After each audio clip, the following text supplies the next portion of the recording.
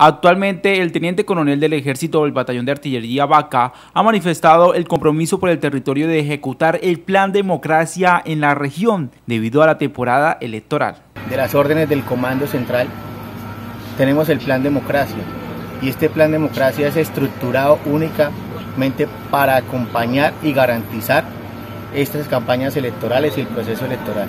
Tenemos todas las capacidades institucionales para garantizar y poder permitir que los candidatos de todas las regiones estén en nuestra región y poder garantizarle a las comunidades que puedan asistir y hacer uso de su derecho al voto. Por el momento las autoridades no han registrado ninguna normalidad y la seguridad se viene desarrollando por las distintas vías hacia el sur de Bolívar.